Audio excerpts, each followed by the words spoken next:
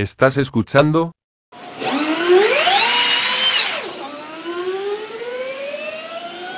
Locos por Fórmula E.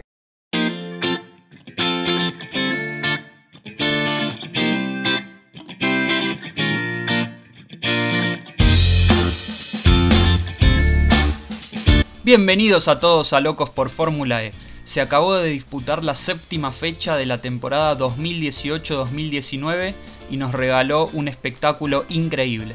Ya se sabía que esta carrera iba a ser súper impredecible y finalmente lo fue. Antes de empezar no se olviden de suscribirse a mi canal de YouTube y de seguirme al Twitter de Locos por Fórmula E que voy a estar dejando abajo en la descripción. Como en todas las carreras prácticamente, desde la clasificación tuvimos momentos bastante sorprendentes.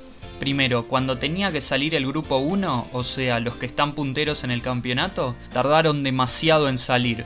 Después de la vuelta de reconocimiento solo les alcanzó para hacer una sola vuelta de 250 kilowatts, y por consecuencia hicieron tiempos altos por no haber calentado lo suficiente los neumáticos y los frenos. Tanto fue así que André Lotterer en el grupo 2 hizo una vuelta un segundo más rápida que la de Da Costa que había sido el más rápido del grupo 1. Las sorpresas llegaron en los últimos grupos. Los dos Dragon entraron en la Superpole, con Pechito tercero y Maximilian Gunther quinto. Finalmente la pole position quedó para André Lotterer y fue el séptimo piloto distinto en hacer una pole position en las siete primeras carreras del año. Increíble.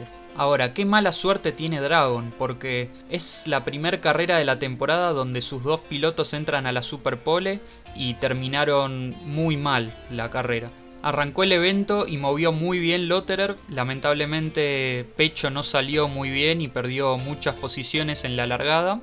Y después de solamente 3 minutos, Pechito López iba a ser parte de un accidente múltiple, donde por lo menos 9 autos quedaron trabados en la pista y tuvieron que sacar una bandera roja. Si no me equivoco, es la cuarta bandera roja al hilo en esta temporada. Ah, y como si eso fuera poco, antes de esa bandera roja, Pecho tuvo un contacto con Sam que lo quiso pasar para mí de manera bastante apresurada en una de las chicanas más difíciles del circuito. El británico perdió prácticamente todos los puestos después de ese toque con el argentino y Pechito después iba a tener un drive-thru penalty por haber causado una colisión. Para mí fue un toque de carrera, porque el circuito la verdad es tan angosto que sí o sí va a haber toques. Lo dicho, salió una bandera roja que duró más de media hora y después de eso la cámara se iba a centrar casi exclusivamente en la batalla entre Mitch Evans y André Lotterer. Prácticamente media hora consecutiva estuvieron peleando y peleando hasta que cuando faltaban 15 minutos sucedió algo increíble. En una de las chicanas más difíciles de la pista, Mitch Evans se tira por adentro sobre André Lotterer, Mitch Evans que tenía el modo ataque, y lo adelanta.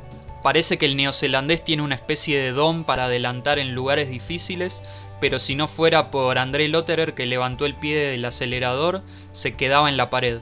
A todo esto, Stoffel Van Dorn estaba tercero vigilando a los dos primeros para ver si pasaba algo para aprovechar y meter el auto, porque tenía fan boost y al final aprovechó el modo ataque, pero no le sirvió porque los dos primeros se le alejaron. El pobre Maximilian Gunther tuvo 80 penalizaciones y le arruinaron la carrera que estuvo la mayor parte de ella en zona de puntos. Y hablando de penalizaciones, lo penalizaron a Jean-Éric Bernier con un drive-thru penalty por adelantar a Antonio Félix da Costa con bandera amarilla. Cosa que no entiendo por qué tardaron tanto en tomar la decisión, porque la sanción recién se conoció en la última vuelta, y a todo esto Jean-Éric Bernier se quedó sin puntos. Terminó la carrera y ganó Mitch Evans, primera victoria del piloto neozelandés en la Fórmula E y primera victoria del equipo Jaguar en la categoría eléctrica. Pensar que justo se había ido Nelson Piquet porque no se le daban los resultados. Con esta victoria de Evans llegamos a 7 ganadores distintos de 7 equipos distintos en las primeras 7 carreras. Va, primeras 7 carreras ya estamos en la mitad de la temporada. Ahora en el campeonato vuelve a estar puntero Jerome D'Ambrosio, cosa increíble porque no lo nombraron en prácticamente toda la carrera, con 65 puntos y Da Costa está segundo con 64. El belga salió octavo y el portugués noveno. Tercero está André Lotterer con 62 puntos y cuarto Mitch Evans con 61. Además, nuevamente, entre los 6 primeros pilotos en el campeonato hay 10 puntos de diferencia. Sin duda que esta es la mejor temporada de la historia de la Fórmula E. La próxima fecha es en dos semanas, el sábado 27 de abril en el complicadísimo circuito de París, donde Pechito López tuvo su primer podio con Virgin.